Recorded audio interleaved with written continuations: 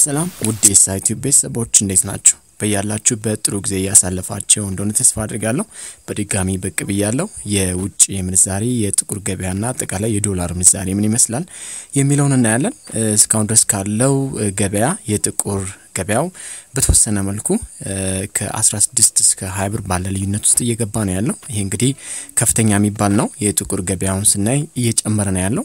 ይህም እንግዲህ የሆነበት ብዙ ምክንያት ሊኖር ይችላል። እሱ እናያለን። የባንክ 51 ብር ከ48 ሳንቲም አካባቢ ገደማ እየተዘረዘረ ነው ያለው። አሁን ላይ ወደ 52 ብር እየተጠጋ ነው። ሲሸጥ ደግሞ 52 ብር አካባቢ ይሸጣል ማለት ነው። 52 ብር ከ48 ሳንቲም አካባቢ የአንድ ብር ልዩነት ነው ሽያጩ ላይ የሚጨመረው በብሔራዊ ባንክ የሚወጣው ምንዛሬ መጠን ማለት ነው። ሌሎችም ደግሞ የሚገዙት የሚሸጡትም እንደዛው የአንድ ብር ልዩነት አስይዘው ነው።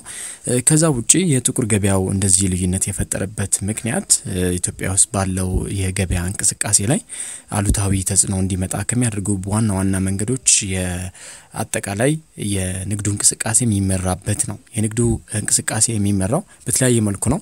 በዋነኝነት ህገወጥ የሆኑ ገንዘቦችን፣ ዝውውሮችን ማስቀረት ባለመቻሉ በተለይ የህገወጥ የቢዝነስ እንቅስቃሴ ልክ ለዶላር ጥቁር ነው የሚባለው። ሌሎች ንግዶችም የጥቁር ገበያ ይባላል። ለመድኃኒት ጥቁር ገበያ ይባላል። ሌሎችም black market ላይ እንደ ሲሚንቶ፣ ሌሎች ነገሮች ይሸጣሉ። ሰዎች በዛ መልኩ ያገኙትን ገንዘብ እንዳይቀንስባቸው በጥቁር ገበያው እየዘረዘሩ በዶላር ያስቀምጣሉ። በተለይ ውጭ ሀገር እንዲቀመጥላቸው ኢትዮጵያ ውስጥ ብር በመስጠት እንደ ሀዋላ ያስቀምጣሉ። ይሄ በጣም ከፍተኛ የሆነ ተጽዕኖ እየፈጠረ ሰዎች ገንዘባቸውን በዶላር እያስቀመጡ የጥቁር ገበያው እንዲጨምር በማድረግ እንዲሁም ደግሞ ሀገር ቤት ያሉ የንግድ እንቅስቃሴዎች ላይም ከፍተኛ ጫና እያመጣ ነው ያለው። ከዚህ በፊት እስከ 16 ብር የነበረው ልዩነት አሁን ከ16 ብር ወጥቶ ከባንኩ ገበያ እስከ 20 ብር ድረስ የሚደርስበትም ሁኔታ ነው እየተፈጠረ ያለው። የጥቁር ገበያው እየጨመረ ነው። በዋነኝነት ደግሞ መንግስት በቅርብ ጊዜ direct ሽያጮችን ለማድረግ እንዲመቸው ወደ ሀገር ቤት እቃዎችን ለማስገባት የፍራንኮ ቫሉታ ወይም ደግሞ የ money injection system የሚባለውን በቴክኒካል ስሙ መፍቀዱ የሚታወቅ ነው። ይህም ኢትዮጵያ ውስጥ ላለው ኢንቨስትመንት የተለያዩ የገንዘብ የምንዛሪ እጥረት ሲከሰት ነው መንግስት የፈቀደው። ከዚህ ስድስት ወር የሚያስፈልገውን አንስቶ በቀጥታ ያለምንም ተራና ወረፋ ሳያዝ በቀጥታ ገንዘቡን ማንቀሳቀስ የሚችልበትን እያንዳንዱ ሰው መፍቀዱ የሚታወቅ ነው። ይህም እንግዲህ ለጥቁር ገበያው የተወሰነ መንገድ ይከፍታል ነው እየተባለ ያለው። ሰዎች በጥቁር ገበያም ቤት የሚያገኙትን ገንዘባቸውን እንዲጠቀሙ እድል ይፈጥራል። በእርግጥ የሀገሪቷን ኢኮኖሚ ለማንቀሳቀስ ቢረዳም በዋነኝነት ከዛ ጋር በተያያዘ ደግሞ ሰዎች የህገወጥ ገንዘባቸውን ህጋዊ እያደረጉ ወደ ሀገር ቤት ላይ የማስገባት ስራ ይሰራሉ።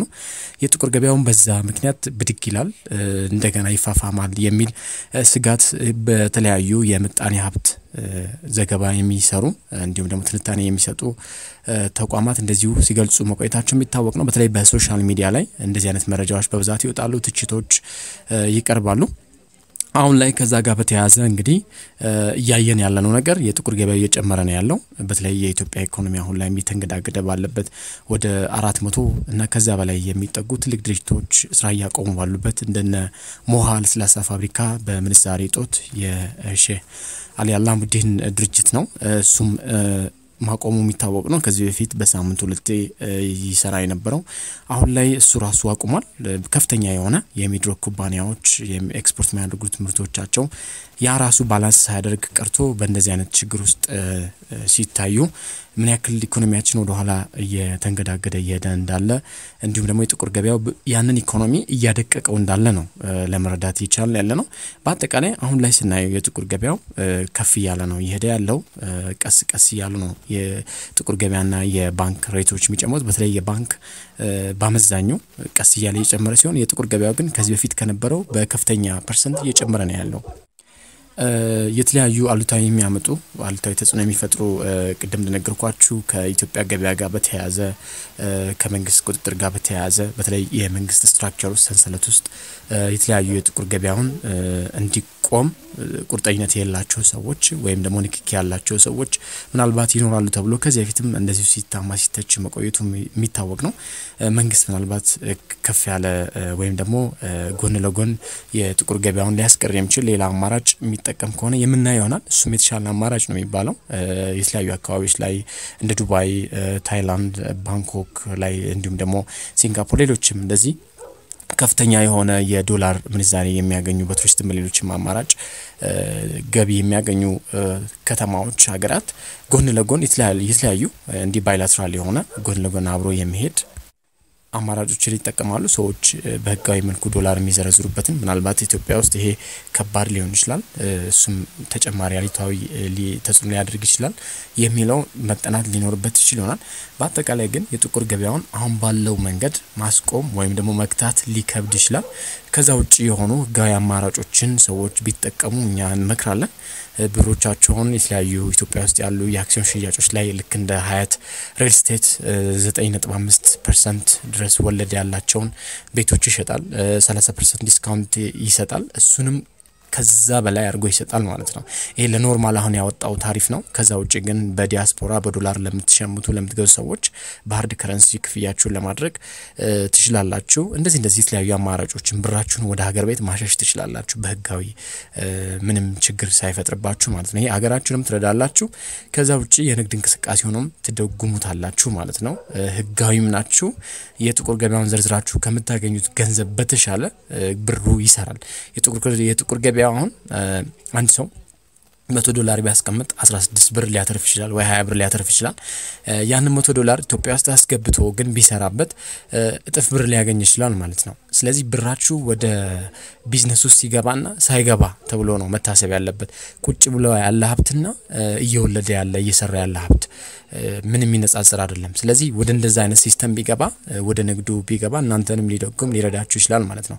በአጠቃላይ ግን ጤነኛ የሆነ ሀገር እንዲኖረን system ኡም እንዲረጋጋ አስተዋጽኦ ማድረጋችሁንም ስታስቡት የእናንተም ኢኮኖሚ የተረጋጋ ነው የሚሆነው። የተቅበዘበዘ የ business strategy ም አይኖራችሁም። የጥፋተኝነት ስሜት የተሰማችሁ አይደለም የምትኖሩት ማለት ነው። ይሄ ሁለት አይነት ነው። ቢዝነስ spiritual business የሚባል አለ። አንድ ቢዝነስ ከ spirit ጋር የሚገናኝ ከሰው ልጆች መንፈስ ጋር የሚገናኝ ለምሳሌ እያጭበረበራችሁ ህገወጥ ኮንትሮባንድ እየሰራችሁ የምታገኙት ገንዘብና በሰላም የምታገኙት ገንዘብ ማለት ነው። በሰላም ገንዘቡን አግኝታችሁት እጥፍ ሆኖ እንዲሁም ደግሞ ሰላማችሁን አግኝታችሁ ሰላማችሁን አጥታችሁ አንዳንዴም ደግሞ ገንዘባችሁን ተወርሶባችሁ በስጋት የምትኖሩበት ቢዝነስ አይነት እሱን ለይቶ ማየት ያስፈልጋል ማለት ነው። የአንደኛው ሰላም ይኖረዋል፣ ገንዘቡም ቀስ እያለ እያደገ ይሄዳል። አንዳንዴም አካሄዳችሁና የቢዝነስ ስትራቴጂ ስትጠቀሙ ብልሃትም ስታክሉበት ገንዘቡም ከፍ እያለ የሚሄድበት አማራጭ ይኖራል። ነገር ግን ህገወጥ የሆነውን ነገር በእርግጥ ገንዘብ ልታገኙበት ትችሉ ይሆናል። ገንዘቡን የምታጡበትም ደግሞ መንገድ ሰፊ ነው። ህገወጥ ነዋ። ህገወጥ የሆነ ሰው ወደ ህጋዊ ለመግባት ስለሚከብደው ማለት ነው። ስለዚህ እነሱን አማራጮችን ትታችሁ ወደ ህጋዊ መታችሁ ህጋዊ ብትሆኑ እኛ እንመክራለን። በቀጣይ ደግሞ የተለያዩ መረጃዎችን ይዘን ወደ እናንተ ብቅ የምንል ይሆናል። አጠቃላይ ትንታኔዎችንም ይዘን እንደዚህ ብቅ እንላለን። አሁን ላይ ግን ጥቁር ገበያ በከፍተኛ ሁኔታ እየጨመረ ነው ያለው። ሁለት ብር ሶስት ብር ልዩነት እያመጣ ነው። በቀጣይ የተለያዩ መረጃዎችን ይዘን ብቅ እስከምን ድረስ በያላችሁበት መልካም ጊዜ መልካም ቀን ይሆንላችሁ።